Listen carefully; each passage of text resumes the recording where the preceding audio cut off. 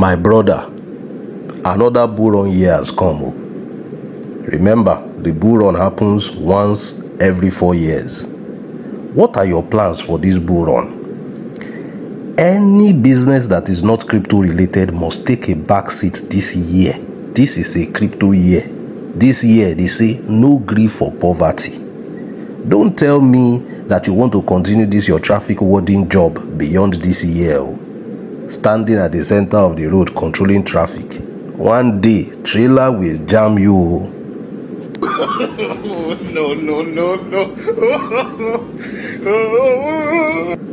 ọlọ́run má jẹ́ god forbid trailer will not jam me see victor isibor leave me alone i want to focus on savings before i met you i have lost a lot of money online i lost money to mmm ipc and even aas my money is stuck there let me jejely be saving my salary i want to focus on savings But wait, oh, is there something interesting about poverty that I don't know?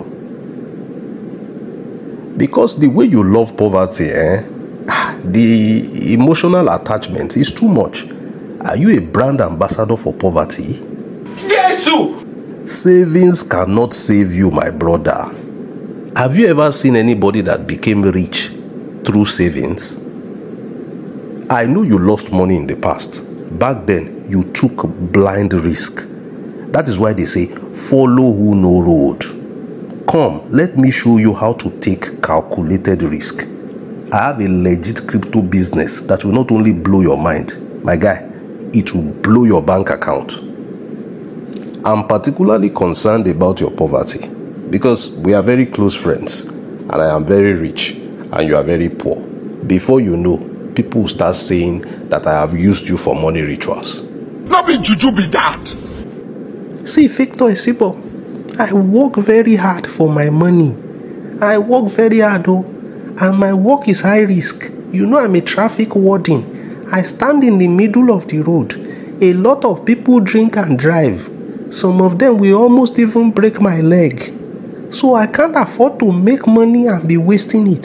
See, I'm just afraid of losing money again. My friend, let me give you a fun fact.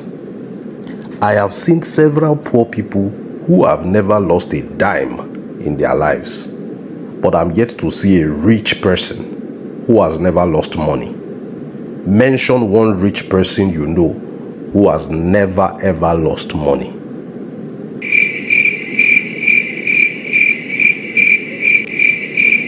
Victor Isibor, sometimes you say a lot of things that you cannot back with evidence. Okay, Femi Otedola, he has never lost money. How can you tell me that somebody like Femi Otedola that is so successful in business that he has lost money?